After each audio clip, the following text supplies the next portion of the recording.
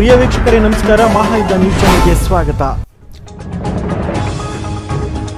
ಬೆಳಗಾವಿ ಜಿಲ್ಲೆಯ ರಾಯಭಾಗ ತಾಲೂಕಿನ ಮೊರಬ ಗ್ರಾಮದಲ್ಲಿ ಗೆಳೆಯರ ಬಳಗ ಇವರ ಸಂಯುಕ್ತ ಆಶ್ರಯದಲ್ಲಿ ಪ್ರತಿ ಮನೆ ಮನೆಗೆ ಮಾಸ್ಕ್ ಹಾಗೂ ಸ್ಯಾನಿಟೈಸರ್ ವಿತರಣೆ ಮಾಡಲಾಯಿತು.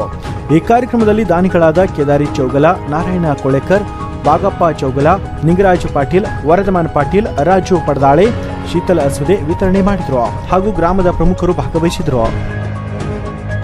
ಸಿದ್ದು ಪೂಜಾರಿ ಮಹಾಯುಧ ನ್ಯೂಸ್ ರಾಯಭಾಗ